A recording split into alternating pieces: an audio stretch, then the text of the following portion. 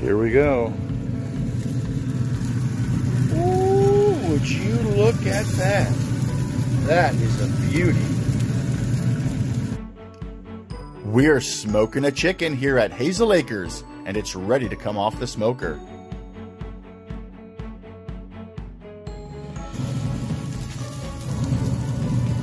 That is one pretty bird. And boy, oh boy, it smells divine.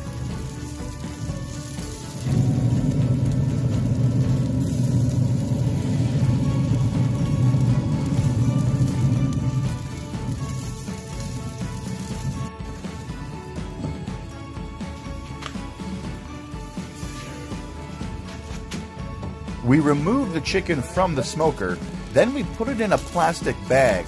And then that plastic bag will get sealed up, and then we put it in a cooler so that way it'll retain some heat. And then it's going to rest for about, uh, oh, 10 to 15 minutes before we finally dig in and start cutting it up.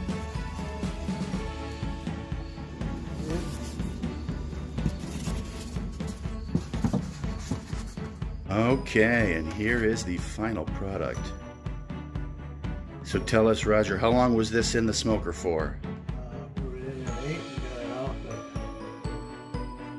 twelve.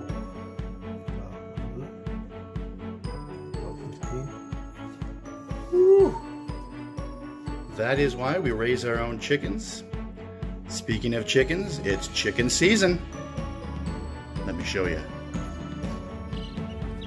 These little puffballs arrived just a couple of days ago.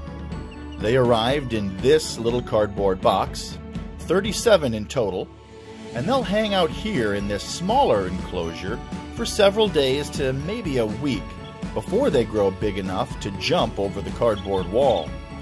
At that point, we'll open things up and they'll have the entire chicken coop to run around in.